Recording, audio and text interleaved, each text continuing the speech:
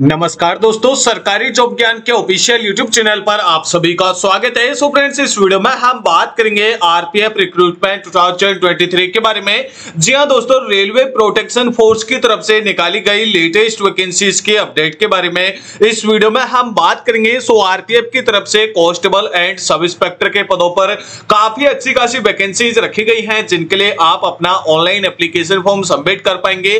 So video को like से ज़रूर देखिएगा, क्योंकि इस वीडियो में हम जानेंगे कि यहाँ पर आपकी एज लिमिट क्या रखी जाएगी, आपका एजुकेशनल क्वालिफिकेशन क्या रखा जाएगा, कब से कब तक आप इस भर्ती के लिए अपना ऑनलाइन एप्लीकेशन फॉर्म सबमिट कर सकते हैं एंड आपको यहाँ पर पर मंथ पे स्केल कितना प्रोवाइड किया जाएगा। इन सभी टॉपिक के बारे में इस वीडियो में हम बात करेंगे। सो वीडियो को लाइक ज़रूर देखिएगा। साथ ही में दोस्तों वीडियो में आगे बढ़ने से पहले आप सभी से रिक्वेस्ट करना चाहूँगा, अगर अभी तक आपने हमारे यूट्यूब चैनल को सब्सक्राइब नहीं किया है तो आप हमारे यूट्यूब चैनल को सब्सक्राइब ज़रूर कर लें और घंटी के बटन को ज़रूर दबा लें ताकि इसी तरीके की लेटेस्ट गवर्नमेंट जॉब्स की इंफॉर्मेशन आपको सबसे पहले मिल सके। सो चलिए फ्रेंड सबसे पहले आपको इसकी ऑफिशियल वेबसाइट पर आ जाना है, जिसका लिंक मैं आपको नीचे डिस्क्रिप्शन बॉक्स में प्रोवाइड कर दूँगा, जहाँ से आप इस भर्ती के लिए इसका ऑफिशियल नोटिफिकेशन डाउनलोड कर सकते हैं। साथ ही में इस भर्ती के लिए अपना ऑनलाइन एप्लीकेशन फॉर्म सबमिट कर सकते हैं। सो फ्रेंड्स यहाँ से आप इजिली चेक कर सकते हैं आरपीएफ कॉन्स्टेबल रिक्रूटमेंट 2023 के लिए जो वैकेंसीज यहाँ पर रखी गई है। अगर हम इनके ओवरव्यू के बारे में बात करें तो आप यहाँ से इजिली चेक कर सकते हैं। आरपीएफ कॉन्स्टेबल वैकेंसीज 2023 के लिए, जो आपका रिक्रूटमेंट ऑर्गेनाइजेशन नेम रहेगा।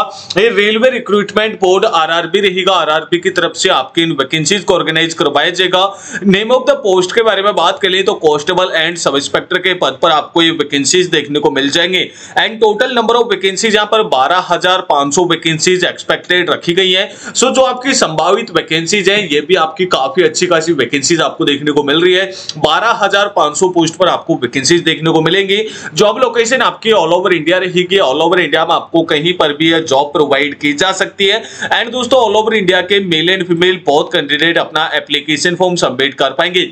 सैलरी के बारे में बात करें तो आपको जो यहाँ पर बेसिक पे स्किल मिलने वाला है वो बावन से बीस रुपए दिया जाएगा और दो हज़ार रुपए आपको यहाँ पर ग्रेड पे मिलने वाला है। सो काफ़ी अच्छी खासी सैलरी आपके यहाँ पर बनने वाली है जो कि लेवल फाइव से आपकी सैलरी बनेगी।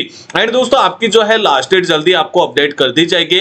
कैटेगरी के बारे में बात कर ली तो रेलवे की आपको गवर्नमेंट जॉब यहाँ पर प्रोवाइड की जाएगी एंड ऑफिशियल वेबसाइट आपकी इंडियन रेलवे रहेगी, जिस पर जाकर के आप अपना एप्लीकेशन फॉर्म सबमिट कर सकते हैं। एप्लीकेशन फ़ीस के बारे में बात करें तो जनरल ओबीसी और ईडब्ल्यू कैटेगरी को पाँच एप्लीकेशन फ़ीस जमा करवानी होगी। साथ ही में एस और एसटी कैटेगरी को दो एप्लीकेशन फ़ीस जमा करवानी होगी।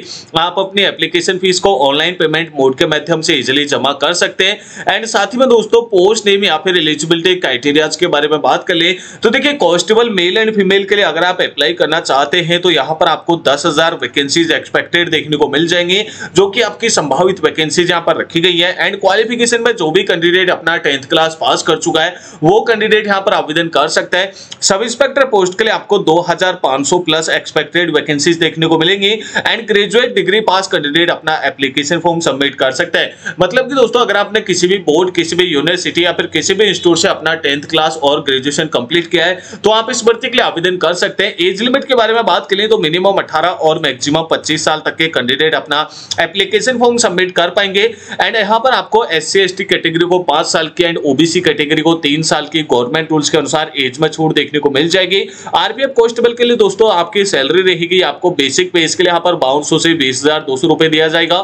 साथ ही में दो आपका यहाँ पर ग्रेड पे बनेगा एंड आपको जो टोटल हैंड सैलरी यहाँ पर दी जाएगी, वो लेवल फाइव से दी जाएगी। आरपीएफ सब इंस्पेक्टर पोस्ट के लिए पैंतीस हज़ार चार सौ रुपए तक आपको सैलरी मिलेगी, जो कि आपकी काफ़ी अच्छी खासी सैलरी यहाँ पर बन जाती है। अगर हम बात करें दोस्तों मेल कैंडिडेट के लिए जो आपका पीएचडी यहाँ पर कंडक्ट करवाया जाएगा, जो आपका फ़िज़िकल स्टैंडर्ड टेस्ट रहेगा, इसमें जनरल ओबीसी और एससी कैटेगरी के लिए जो मिनिमम हाइट रखी गई है, ये 165 सेंटीमीटर रखी गई है। साथ ही में चेस्ट यहाँ पर 80 टू 85 सेंटीमीटर लिया जाएगा। एंड एसटी कैटेगरी के लिए मिनिमम हाइट यहाँ पर 160 सेंटीमीटर रहेगी। साथ ही में 80 77 से 82 सेंटीमीटर आपका यहाँ पर चेस्ट लिया जाएगा। मतलब कि दोनों ही कंडीशन में आपका यहाँ पर 5 सेंटीमीटर का फुलाव आपके चेस्ट में होना चाहिए। इसी के साथ में अगर आप पहाड़ी क्षेत्र के कैंडिडेट है तो भी आपको यहाँ पर कुछ रिलेक्शन देखने को मिल जाएगा। बात करते ही दोस्तों फीमेल कैंडिडेट के लिए जो आपका पीएचडी कंडक्ट करवाया जाएगा, इसके बारे में। तो अगर आप जनरल एंड ओबीसी और एससी कैटेगरी के कैंडिडेट है तो फीमेल कैंडिडेट के लिए यहाँ पर 157 सेंटीमीटर मिनिमम हाइट ली जाएगी। एंड एसटी कैटेगरी के लिए 152 सेंटीमीटर मिनिमम हाइट ली जाएगी। साथ ही में पहाड़ी क्षेत्र को भी यहाँ पर कुछ रिलेक्शन देखने को मिल जाएगा। फ़िज़िकल एफिशिएंसी टेस्ट के बारे में बात करें, जो आपका एंड्रोइड टेस्ट रहेगा। तो देखिए मेल कैंडिडेट के लिए 1600 मीटर की दौड़ रहेगी, जिसे पाँच मिनट और 45 सेकंड में कंप्लीट करना होगा। वहीं 14 फीट की लॉन्ग जंप रहेगी और 4 फीट की हाई जंप आपकी रहने वाली है। इसी के साथ में फीमेल कैंडिडेट के लिए 800 मीटर की दौड़ रहेगी, जिसे तीन मिनट और चालीस सेकंड में कंप्लीट करना होगा। लॉन्ग जंप यहाँ पर नौ फीट की रहेगी और तीन फीट की हाई जंप आपको देखने को मिल जाएगी। दोस्तों, दोनों ही कंडीशन में आपको हाई जंप और लॉन्ग जंप में तीन तीन चांस देखने को मिल जाएँगे। रनिंग में आपको कोई भी एक्स्ट्रा चांस यहाँ पर प्रोवाइड नहीं किया जाएगा। सिलेक्शन प्रोसेस के बारे में बात कर लें कि आपका आरपीएफ के लिए सिलेक्शन प्रोसेस क्या रहेगा।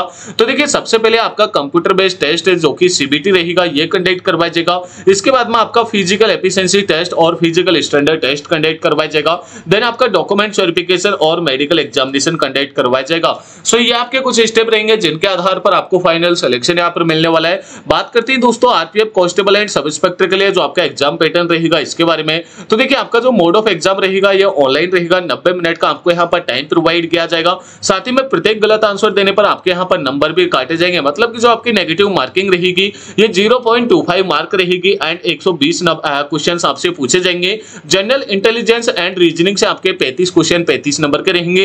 अर्थमेटिक से आपके यहाँ पर 35 क्वेश्चन 35 नंबर के रहेंगे। साथ ही में general knowledge and general awareness से 50 क्वेश्चन 50 नंबर के पूछे जाएँगे। टोटल 120 क्वेश्चन रहेंगे। 120 नंबर का आपका यहाँ पर पेपर रहेगा।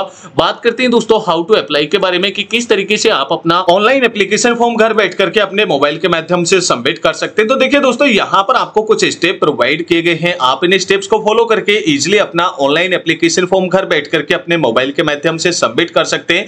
सो अगर आपको अपना ऑनलाइन एप्लीकेशन फॉर्म सबमिट करने में किसी भी प्रकार की प्रॉब्लम का सामना करना पड़ रहा है तो आप मुझे नीचे कमेंट बॉक्स में नेक्स्ट वीडियो के लिए मैसेज कर सकते हैं। मैं आपके लिए जल्दी से एक नई वीडियो लेकर के आ जाऊँगा, जिसमें आपको बताऊँगा कि आप किस तरीके से अपना ऑनलाइन एप्लीकेशन फॉर्म घर बैठ करके अपने मोबाइल के माध्यम से सबमिट कर सकते हैं।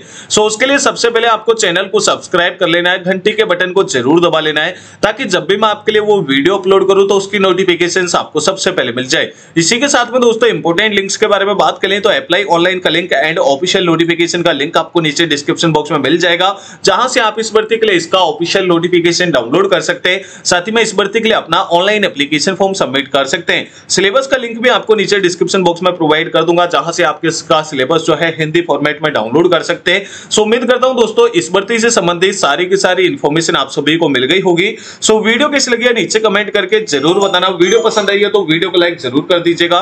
दोस्तों के साथ शेयर करना बिल्कुल मत भूलना। एंड अगर आप हमारे यूट्यूब चैनल पर पहली बार विज़िट कर रहे हैं तो चैनल को सब्सक्राइब करके घंटे के बटन को ज़रूर दबा लें, ताकि इसी तरीके की लेटेस्ट गवर्नमेंट जॉब्स की इन्फॉर्मेशन आपको सबसे पहले मिल सके।